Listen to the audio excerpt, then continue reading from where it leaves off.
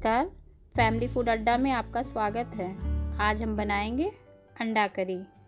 ये देखिए। देखने में कितना अच्छा लग रहा है।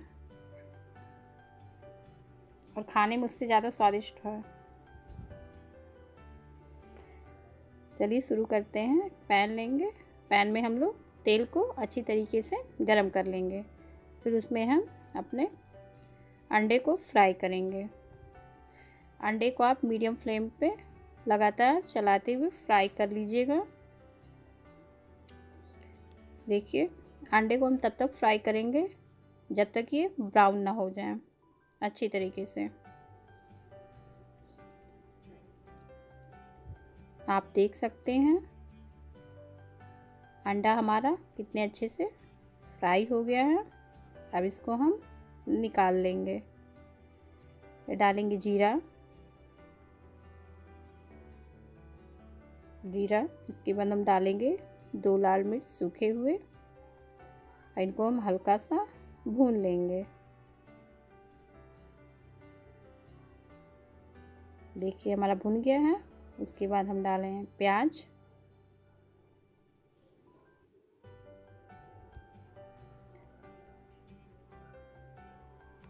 प्याज को भी हम लगातार चलाते हुए भूनेंगे। इसको आप अच्छी तरीके से भून लीजिएगा। ऐसे बनाने से ये होता है, देखिए हमने काली मिर्च डाला है। अगर हमारा ग्राइंडर ख़राब हो तो भी ये काम कर जाता है। इस तरह आप बनाएँगे तो आसानी से बन जाएगा। और ये हमने लिया है अदरक, लहसुन का पेस्ट और दो हरा मिर्च। आप अपने स्वाद के अनुसार, जैसे आप तीखा पसंद करते हैं या नहीं पसंद करते हैं, आप उसी के हिसाब से आप मिर्च की संख्या कम या ज़्यादा कर सकते हैं। देखिए, हमारा प्याज भून कर एकदम तैयार हो गया है। अब इसमें हम डालेंगे टमाटर। हमारा टमाटर डल गया है। अब इसमें हम हल्का सा चलाने के बाद हम इसमें डालेंगे नमक। देखिए, नमक हम इसलिए डालते हैं टमाटर के बाद कि हमारा टमाटर जो है अच्छी तरीके से गल जाए। देखिए। और मेरे चैनल को आप लाइक, शेयर, सब्सक्राइब करना मत भूलिएगा। कि हम लगातार इसको चलाते रहेंगे। देखिए, जब तक हमारा टमाटर गल नहीं जाएगा तब तक हम इसको चलाते रहेंगे। ये मेरे हस्बैंड बना रहे हैं। क्योंकि मैं नॉनवेज नहीं खाती तो वही नॉनवेज वही बनाते हैं। कि हम लगातार टमाटर को गलने तक, अच्छी तरीके से गलने तक इसको लगातार हम चलाते रहेंगे। देखिए इसमें डालेंगे हम आधा चम्मच हल्दी और कश्मीरी लाल मिर्च। गरम मसाला एक चम्मच इसको आप अच्छी तरीके से चलाते हुए भून लेंगे।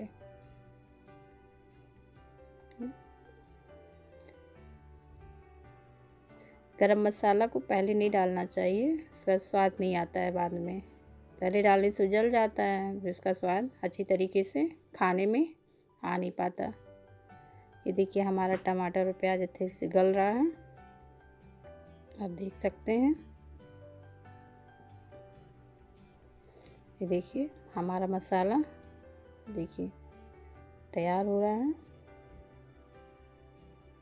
ये हम लगातार चलाते रहिएगा, ना जल जाएगा। इसको अच्छे तरीके से हमको गलाना है एकदम। देखिए इसमें हम डालेंगे आधा ग्लास पानी। आप इसको लगातार चलाते रहिए। देखिए, इसको लगातार आप चलाएँगे, तभी हमारा मसाला जो है और अच्छी तरीके से भुनेगा। आप इसको पानी डाल के लगातार चलाते रहिएगा। ये देखिए, हमारा मसाला, देखिए हमारा पानी, पता नहीं चल रहा है उसमें मिल गया है और देखिए हमारा मसाला कितने अच्छे तरीके से तैयार हो गया है। आप देख सकते हैं। अब इसमें हम जो अंडा फ्राई किए थे, उसको डालेंगे। देखिए। और अंडा डालने के बाद आप इसको लगातार चलाते रहिएगा। इसमें हम कोई स्पेशल मसाले का यूज़ तो कर नहीं रहे हैं। आप एक बार इसको बनाइएगा, ये आपको खाने में बहुत ही स्वादिष्ट लगेगा। ये देखिए इसमें हम अपनी अगर आपको ज़्यादा गाढ़ा चाहिए तो आप पानी हल्का रखिएगा। हल्का डालिए इसमें पानी। देखिए।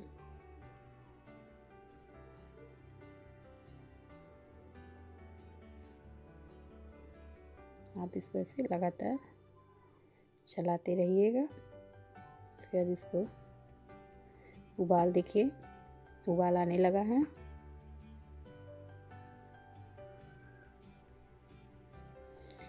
हमारा बन के तैयार हो जाएगा। पाँच छः मिनट में बन के तैयार हो जाता है। देखिए, हमारा अंडा करी बन के तैयार हो गया है।